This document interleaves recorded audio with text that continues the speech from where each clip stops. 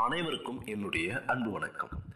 இந்த திரையில பார்க்கக்கூடிய செவன் எயிட் சிக்ஸ் இந்த நம்பர் வந்து பார்த்தீங்கன்னா மிகவும் அதிர்ஷ்டம் வாய்ந்த நம்பர் அப்படின்னும் நம்ம நினைக்கிறத கேட்கறத கொடுக்கக்கூடிய நம்பர் அப்படின்னு சொல்றாங்க. பெரும்பாலுமான மக்கள் இந்த நம்பரை பார்த்த உடனே நினைக்கக்கூடிய ஒரு விஷயம் என்னன்னு பார்த்தீங்கன்னா நம்மளுடைய இஸ்லாமிய சகோதரர்கள் பயன்படுத்தக்கூடிய புனிதமான நம்பர் அப்படின்னு சொல்லலாம்.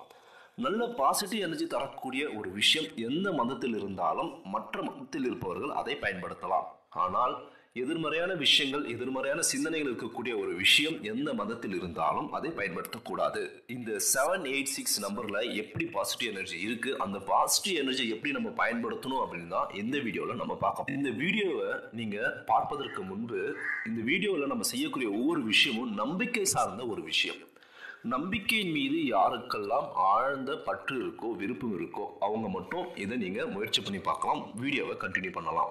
எனக்கு இதெல்லாம் மூட நம்பிக்கைன்னு தோணுது. எனக்கு இது மேலே நம்பிக்கை இல்லை அப்படின்னா நீங்கள் வீடியோவை கண்டினியூ பண்ண தேவையில்ல. இந்த பிரபஞ்சத்தில் இருக்கக்கூடிய ஒவ்வொரு விஷயத்துக்கும் தொடர்ந்து அந்த விஷயத்தின் மீது நம்ம ஒரு ஆற்றலையோ ஒரு விஷயத்தையோ நம்ம சொல்லிட்டு இருந்தோம் அப்படின்னா அந்த பொருளுக்கு நம்ம சொல்லக்கூடிய விஷயம் அந்த செயலுடைய சக்தி அது கிரகித்துக் கொள்ளும் என்பது சயின்ஸ் இயற்கை ஆன்மீகம். நம்மளுடைய இந்து சாஸ்திரத்துல கோவில் இருக்கக்கூடிய சிலைகளுக்கு தினமும் மந்திரங்களும் ஆராதனைகளும் அபிஷேகங்களும் செய்யப்படுது. அதன் மூலம் அந்த சிலைகளுக்கு தெய்வீக சக்தியும் நேர்மறையான ஆற்றலும் அதிகரிக்கிறது. ஒவ்வொரு மனுஷனுக்குமே நேர்மறையான ஆற்றல் எதிர்மறையான ஆற்றல் ரெண்டுமே கலந்துருக்கும். இதுல எந்த ஆற்றல் ரொம்ப அதிகமா இருக்கோ அதன் பிரகாரம் அவன் வாழ்க்கையில் முன்னேறுவான் இல்லைன்னா வாழ்க்கையில் பின்னடைவு சந்திப்பான். நம்மளுக்கு எதிர்மறையான ஆற்றல் அதிகரிக்கும் போது நம்மளுக்கு தவறான விஷயங்கள் தீய பழக்கங்கள் தவறான முடிவுகளை நம்ம எடுப்போம். நம்மளுக்கு நேர்மறையான ஆற்றல் அதிகரிக்கும் போது நம்முடைய எண்ணமும் சிந்தனையும் தெளிவாகவும் சரியான முடிவு எடுப்போம். வாழ்க்கையில் வேகமாக முன்னேறுவோம். இந்த ஆற்றலை இந்த எனர்ஜியை நம்ம கோவிலுக்கு போகும்போது நம்ம ரீசார்ஜ் பண்ணிக்குவோம். ஏன் அப்படின்னா ஒவ்வொரு சிலைகளுக்கும் கோவிலுக்கும் தினமும்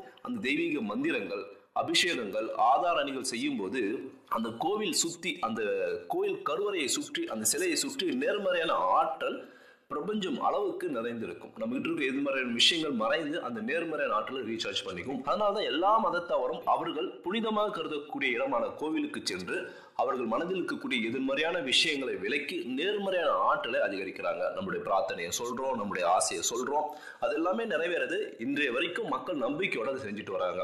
அதே போல தான் இந்த செவன் எயிட் சிக்ஸ்ன்ற ஒரு விஷயத்துக்கும் தொடர்ந்து நம்ம நேர்மறையான ஆற்றலை தர தர தர அந்த செவன் எயிட் சிக்ஸ் என்று சொல்லக்கூடிய அந்த நம்பருடைய ஒரிஜினல் சக்தி அந்த நம்பருக்குள் வைக்கப்பட்டு அந்த நம்பரை நீங்கள் பயன்படுத்தினீங்க அப்படின்னா ஒரு மிகப்பெரிய சக்தியையும் நீங்கள் எண்ணுவதை அனைத்தையும் அடைய முடியும் அப்படின்னு சொல்லப்படுது. அது எவ்வாறு செய்யணும் அப்படின்னா அதற்கு முன்னாடி இந்த செவன் எயிட் சிக்ஸ் இந்த நம்பர் வந்து நம்முடைய இந்து சாஸ்திரத்தில் எதை குறிக்குது அப்படின்னு நான் சொல்லிடுறேன். நம்மளுடைய நவ கிரகங்கள் இருக்கு இல்லையா? அந்த நவ கிரகங்களுக்கும் ஒவ்வொரு நம்பரை குறிப்பிடலாம். சூரியனுக்கு ஒன்றாவது நம்பரும் சந்திரனுக்கு இரண்டாவது எண்ணையும் குருவுக்கு மூன்றாவது எண்ணையும் ராகுக்கு நான்காவது எண்ணையும் புதனுக்கு ஐந்தாவது எண்ணையும் சுக்கரனுக்கு ஆறாவது எண்ணையும் கேதுக்கு ஏழாவது எண்ணையும் சனிக்கு எட்டாவது எண்ணையும் செவ்வாய் பகவானுக்கு ஒன்பதாவது எண்ணையும் குறிக்கலாம். நவ கிரகங்களுக்கு இந்த ஒன்பது எண்ணம் குறிக்கப்பட்டிருக்கு. அதே போல செவன் எயிட் சிக்ஸ் என்ற எண்ணுக்கு இந்த ஒன்பது கிரகங்களை மூணு கிரகத்தை நம்ம குறிப்பிடலாம்.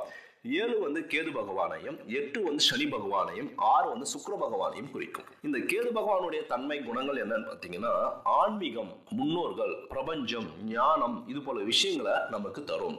அதாவது ஆன்மீகத்திலிருந்து நமக்கு தேவையான நேர்மறையான ஆற்றலை இது நமக்கு அளிக்கும். அதனால் தீய விஷயங்கள் தீய பழக்கங்கள் தீய எண்ணங்கள் தீய நண்பர்களோடு நம்ம சேர மாட்டோம்.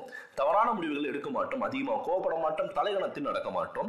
முன்னோர்களுடைய நம்ம வீட்டில் இருந்து வாழ்ந்த நாம் நல்லா இருக்கும்னு நினைச்ச முன்னோர்கள் தவறானதுக்கு பிறகு அவர்களுடைய அருளும் ஆசியும் அவருடைய ஆன்மாவும் நம்மளுக்கு கிடைக்கும். இந்த கேது பகவானுடைய அருள் இருந்தால் பிரபஞ்சத்தினுடைய சக்தி நம்மளுக்கு கிடைக்கும் அப்படின்றாங்க இந்த பிரபஞ்சத்தில் தான் அனைத்துமே இருக்கு. நம்ம என்ன ஆசைப்பட்டாலும் அந்த பிரபஞ்சத்தில் இருந்து ஆசைப்படுவோம். அந்த பிரபஞ்சத்தினுடைய சக்தி நமக்கு இருக்கும்போது நம்ம ஆசைப்பட்டது நம்ம நினைச்சதெல்லாம் மிக விரைவில் கிடைக்கக்கூடிய வழி நம்மளுக்கு கிடைக்கும். அப்படின்றாங்க.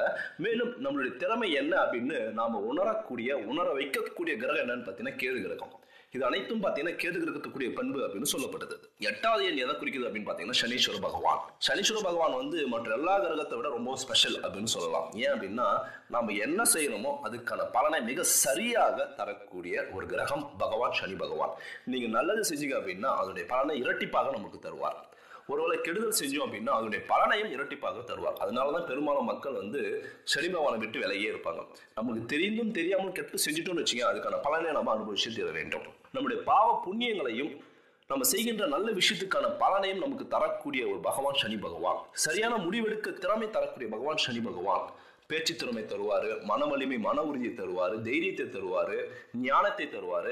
மற்றவர்கள் நல்லவர்களா கெட்டவர்களா என்று எடை போட்டு பார்க்கக்கூடிய அறிவு தருவார். இந்த அளவுக்கு பண்புகள் வந்து பார்த்தீங்கன்னா சனீஸ்வர பகவானுக்கு உண்டு அப்படின்னு சொல்றாங்க. அந்த சனீஸ்வர பகவானை குறிக்கக்கூடிய எண் என்னன்னு பார்த்தீங்கன்னா எட்டாம் நம்பர் அடுத்து இருக்கக்கூடிய ஆறு வந்து எதை குறிக்குது அப்படின்னா சுக்கிர பகவானை குறிக்கும்.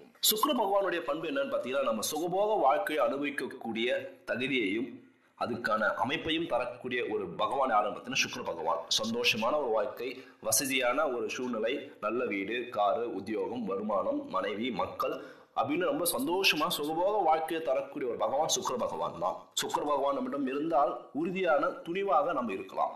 கான்ஃபிடண்டா இருக்கலாம் லைஃப்ல எதை கண்டும் பயப்படாம நம்ம சந்தோஷமா கான்ஃபிடண்டா இருக்கலாம். மேலும் நம்மளுக்கு கம்பீரமான தோற்றத்தையும் சமயோத புத்தியும் சாதுரியமாக பேசக்கூடிய திறமையும் அளிக்கக்கூடியவர் சுக்கர பகவான். நீங்க ஆசைப்பட்டது நீங்க நினைச்சது எல்லாமே இளமையிலே அனுபவிக்கணும் அப்படின்னா சுக்கர பகவானுடைய அனுகிரகம் இருந்தால் மட்டும்தான் சின்ன வயசுல நீங்க ஆசைப்பட்டது எல்லாமே கிடைக்கும் அனுபவிக்க முடியும். மிகப்பெரிய வளர்ச்சி முன்னேற்றம் செல்வம் செல்வாக்கு தரக்கூடிய ஒரு சக்தி எதுன்னு பார்த்தீங்கன்னா சுக்கர பகவானுக்கு உண்டு அப்படின்னு சொல்லலாம்.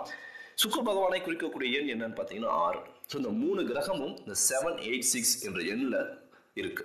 இப்போ இந்த செவன் எயிட் சிக்ஸுக்கான பண்புகள் என்ன அப்படின்னு தெரிஞ்சுக்கிட்டோம். இந்த நம்பருக்குள்ள இந்த மூணு கிரகத்துடைய சக்தி எப்படி கொண்டு வர்றது? அந்த கொண்டு வந்ததுக்கு பிறகு அந்த நம்பரை நம்ம பயன்படுத்தணும் அப்படின்னா நம்மளுடைய ஆசைகள் எண்ணங்கள் எல்லாம் நிறைவேறும். அது எவ்வாறு செய்யணும் அப்படின்னு சொல்றேன். இந்த செவன் எயிட் சிக்ஸ் இந்த நம்பரை நீங்க என்ன பண்ணணும்? ஏதாவது ஒரு தகடு செப்பு தகடு வெள்ளி தகடு உங்களால் முடிஞ்சிச்சுன்னா உங்க வசதிக்கு ஏற்ப ஒரு தகடுல செவன் எயிட் சிக்ஸ் அப்படின்னு எழுதிக்கோங்க. அப்படி இல்லையா? நெய் விளக்குல கொஞ்சம் பச்சை கலப்படம் போட்டு அந்த தீபத்தை ஏற்றி வசம்பு வச்சு ஒரு பேப்பர்ல செவன் எயிட் சிக்ஸ் அப்படின்னு எழுதுங்க. இந்த மூணு ஆப்ஷன்ல எது உங்களுக்கு தேவையோ எது உங்களால் முடியுமோ அதை நீங்க செஞ்சுக்கோங்க. பிரம்ம முகூர்த்தத்தில் செவன் எயிட் சிக்ஸ் இந்த மூணு விஷயத்தில் எழுதிக்கிட்டீங்க. அதை வச்சுக்கிட்டு நீங்க இந்த மூணு கிரகங்களுடைய மந்திரங்களையும் அல்லது இந்த மூணு கிரகங்களுடைய பேரையும் நீங்க உச்சரித்தீங்க அப்படின்னா அந்த மூணு கிரகங்களுடைய சக்தி இந்த நம்பர்களுக்குள் அமைக்கப்படும் வைக்கப்படும் சேர்க்கப்படும். இது எத்தனை நாளைக்கு செய்யணும் எவ்வளோ முறை செய்யணும் அப்படின்னா நம்ம எந்த அளவுக்கு அந்த செவன் எயிட் சிக்ஸுக்கு வந்து சக்தியை ஏற்றணும்னு நினைக்கிறோமோ அந்த அளவுக்கு நீங்கள் செய்யலாம். ஒரே நாளில் கூட நீங்கள் செய்யலாம். இல்லை ஒவ்வொரு பிரம்ம முகூர்த்தத்திலும் ஒவ்வொரு நாளும் அதிகாலையில் நீங்கள் செஞ்சீங்க அப்படின்னா அந்த செவன் எயிட் சிக்ஸ் நம்பருக்கு சக்தி அதிகமாகும். அதுக்கப்புறம் நீங்கள் தொழில் செய்கிற இடத்துலையோ நீங்கள் வேலை செய்கிற இடத்துலையோ இல்லை உங்கள் கீச்சையிலோ இல்லை உங்கள் பர்ஸ்லையோ உங்கள் கல்லாப்பெட்டிலையோ உங்கள் லாக்கர்லையோ உங்கள் வீட்லையோ எங்கே வேணாலும் நீங்கள் வைக்கலாம். அப்படி வச்சிங்க அப்படின்னா அந்த செவன் எயிட் சிக்ஸ் கூடிய தன்மை பண்பு உங்களுக்கு கிடைக்கும். செவன் எதை குறிக்குது? கேது பகவானை குறிக்குது. உங்களுக்கு ஞானத்தையும் பிரபஞ்சத்தினுடைய சக்தியையும் உங்களுடைய திறமையும் அது காட்டும். எயிட் எதை குறிக்குது? சனீஸ்வர் பகவானை குறிக்கும். நல்லது கெட்டது. நீங்க செய்கின்ற பலனை இரட்டிப்பாக உங்களுக்கு தரும். சிக்ஸ் எதை குறிக்குது? சுக்ர பகவான். சுகபோக வாழ்க்கையை உங்களுக்கு தரும். இது மூணுத்தையும் அது கிரகிச்சு உங்களுக்கு அளிக்கும். எந்த இடத்துல ஒன்னாலும் நீங்க வைக்கலாம். நீங்க இந்த இடத்துல வச்ச இந்த வாழ்க்கை முன்னேறும் உயரும் நீங்க நினைக்கிறீங்க இல்லையா? அந்த இடத்துல நீங்க அதை வைக்கலாம். இது முழுக்க முழுக்க நம்பிக்கை சார்ந்த ஒரு விஷயம். நம்பிக்கையோட நீங்க இதை செய்யலாம். நம்பிக்கை மட்டும்தான் இந்த உலகத்தில் இருக்கிற ஒவ்வொருத்தரையும் நிம்மதியாக வாழ வைக்கக்கூடிய ஒரு விஷயம். நாளை என்பது நம்பிக்கைன்ற ஒரு விஷயத்தால தான் நகருது. அதனால நம்பிக்கையோட இந்த விஷயத்தை நீங்க முயற்சி பண்ணி பாருங்க.